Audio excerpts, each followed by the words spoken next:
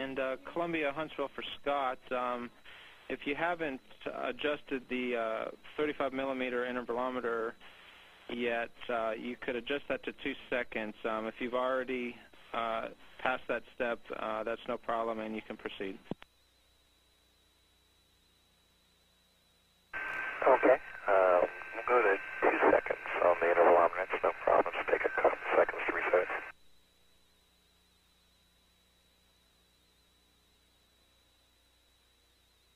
And is uh, sample 7 looks like a different material than the last one?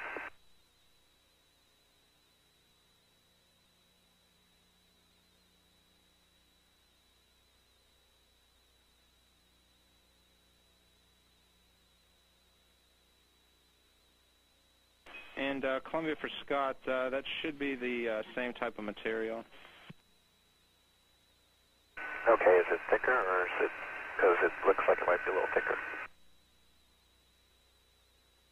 Uh, no, it, it it seems like it appears that way, but it should be the same thickness.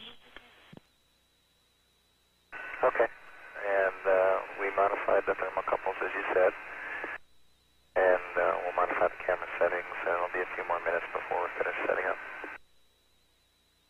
Okay, copy that, Scott. Um, that uh, camera uh, was something that uh, they noticed in their last data run. Okay, thanks.